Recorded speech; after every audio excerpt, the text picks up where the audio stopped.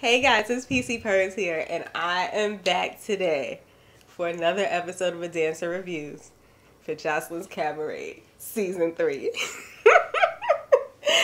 so, y'all know I did Season 2, and we're back again because there's another season. Time flew, so we're back. If you're new to the channel, A Dancer Reviews is where a dancer, me, is going to review a movie, music video, etc. that has something to do with pole, and it's going to be coming from the perspective of a dancer. So we're not just talking story, we're talking about how pole is represented in this piece. of course, I'm going to have some tips and tricks. So let's get started. Season 3, Episode 1. We're in Vegas. All right, so it starts with Joseline's new music video, and it's not as catchy as the Do It Like It's Your B-Day, but I will say, I feel like her songs are good intro songs for her show. Like they work it's behind it's like background music for the intro. Like it works for that. On the radio, I don't know about this one, but the other one Let's see if this one grows on me. But they knew what they were doing because after they have like their little intro with this long music video, then we get to do it like it's your B day in the background. So then my soul was happy. So this one starts just like season two started uh, in the new house. The new house is nice. The new house is very, very fancy. But um, Joseline and Ballistic are talking. They call Chanel. Chanel's going to be in this season, and Lexi Blow. Everybody like Lexi Blow. So after that, then we see Chanel and Lexi Blow in the new house, and it seems like they kind of is a little bit of uneasiness between them. You know, Chanel isn't really confrontational. Neither is Lexi, so they're kind of like mm, nice, nasty a little bit, but they seem like they're going to be on the same page. Then we get in the bus or van, whatever it is, with all the girls. And we start getting introduced to them. And it's a lot of personalities. They all seem pretty prepared this season. I'm not going to say they seem more together than last season. Maybe a little bit. They just, they know what to expect this season. So they seem a little more together. Um, this season seems a little more focused already, but everybody's getting a little bit better. This is like a growing experiment. We're all growing together, kind of. So then we're on the bus and we start meeting, or van, whatever it is, and we start meeting the new girls. And some of them stand out. Two of the ones that stand out a whole lot are Wet Wet, because she's the girl with the new boot, or I think she said they were like five or six months old, but they looked very noobs and very high on the chest, and she's just got them out, broad daylight, just boobs out, couple pasties, and everybody's like, "Where are you going with all your breasts out?" Like she was just being loud. She wasn't saying anything wrong. She just seemed very happy to be there, just very enthusiastic. And you know, everybody's trying to have a moment, but it was really irritating the girls. And then uh, Gaia Love, the Christian porn star, she seems like a lot, and Amber I think her name is Amber, and she was really, really pressed and bothered about Wet Wet. It's like, mm, I mean, even if she is being extra, you gotta get that pressed about it. That was kind of irritating to me. But um, pretty loud ride. And Amber was saying that Wet Wet reminds her of like a Bosstec knockoff. But to me, she resembles Bosstec a little more in terms of like clothing, style, and demeanor. And Wet Wet reminds me more of like Yummy, more like I'm gonna say whatever. I'm gonna be more like a free spirit and just kind of against the grain of like what everybody else is. So it'll be interesting to see how their personalities shape out. But then we see Joseline, and she's looking for a venue for the cabaret. And they pretty much found a strip club, and it's all black. And it seems like, from the way they showed it, it's got a few stages with like a single pole on it and a lot of open space in the middle with tables around. And to me, it seems like it might not be the best venue because there's no central stage. So I like the little side stages because then you can have like other things happening that add to the atmosphere. I got all my hands in the video. I'm sorry.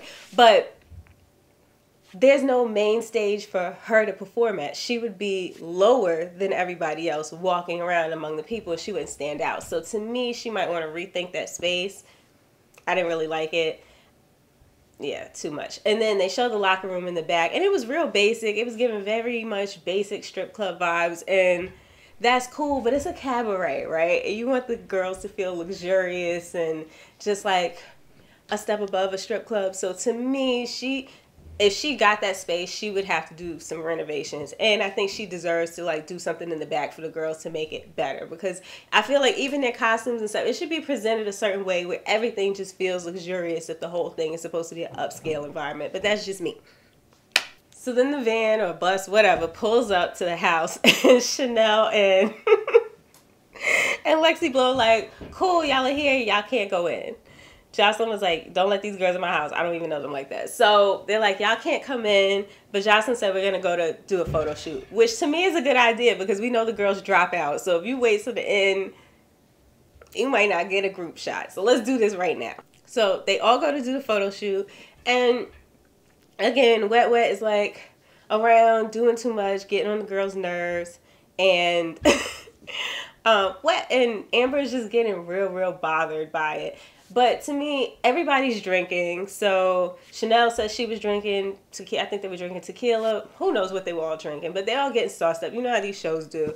And it's like everybody's looking for their moment. As long as she's not touching you or really harassing you, I feel like why are you getting that pressed about it? Like I'm not gonna let somebody I don't know get me that bothered, especially if they're not talking to me or doing anything. And general consensus was she's being extra but she's not bothering anybody. So for her to want to fight this girl, it was getting to be a lot.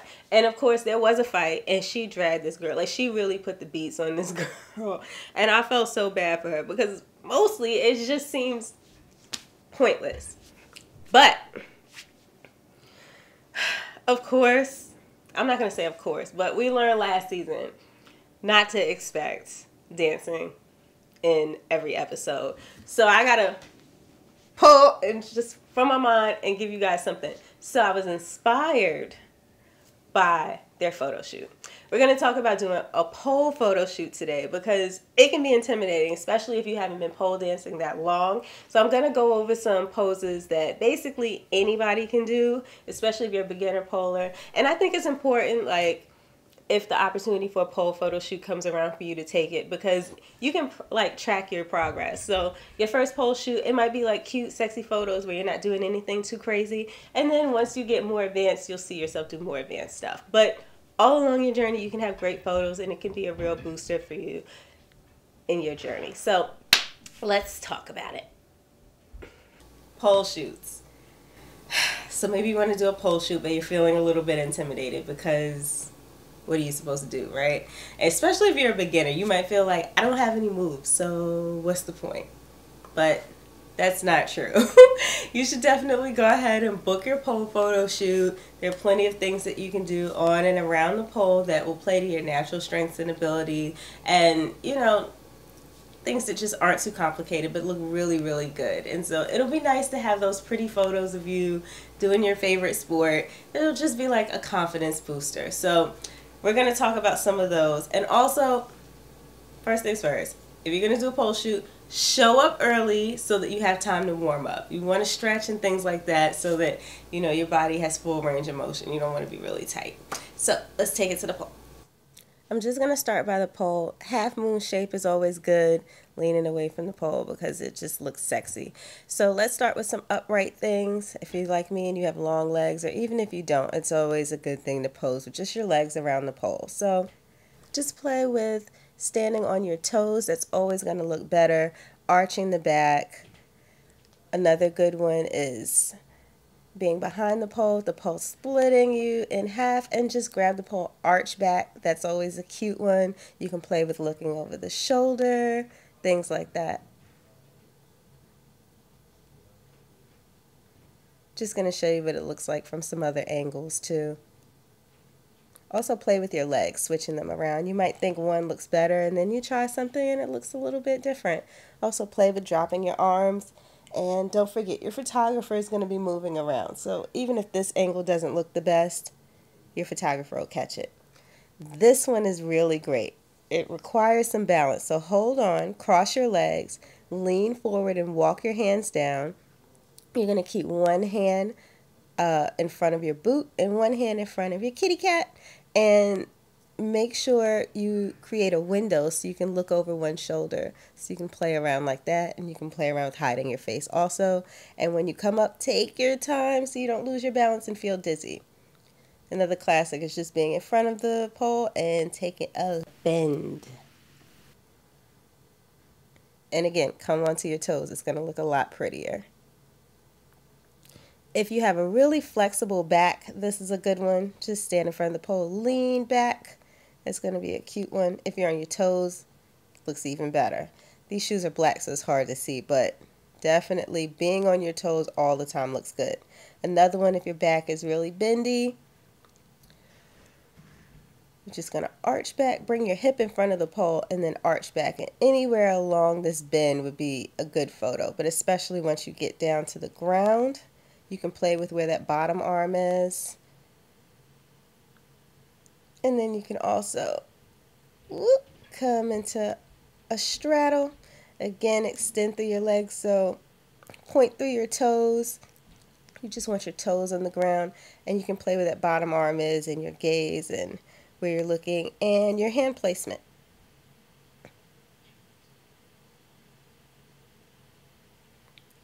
Next, I'm just going to come on out of that. But another one, a little split. Just trying not to kick my little doggy in the chair so that back leg isn't straight. But you want to look for the heel of that extended back leg to make sure that leg is straight. And straighten, straighten, straighten. Last one, if your back is bendy, you're just going to arch, kick your heels to your head. Sitting on the heels is always cute. You can play with the angle, but that always looks really nice. Lunges are another good one. You want to come onto that front toe and extend through the back, and you can play with where your your torso is. Leaning forward, leaning back, looking down, looking up.